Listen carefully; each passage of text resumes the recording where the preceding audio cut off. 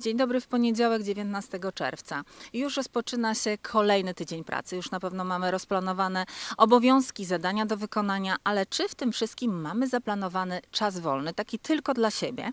E, warto byłoby zaplanować czas na wolny spacer. Taki prawdziwy, bez telefonów komórkowych, bez zerkania co chwilę na zegarek. A dzisiaj jest ku temu sposobność, ponieważ dzisiaj obchodzimy bardzo nietypowe święto, bo Dzień Leniwych Spacerów, który jest tak naprawdę apelem do nas wszystkich, żebyśmy zwolnili, e, żebyśmy wybrali się na spacer właśnie bez obciążeń, że coś musimy zrobić, dziś się śpieszymy. A to wszystko sprzyja naszemu zdrowiu psychicznemu.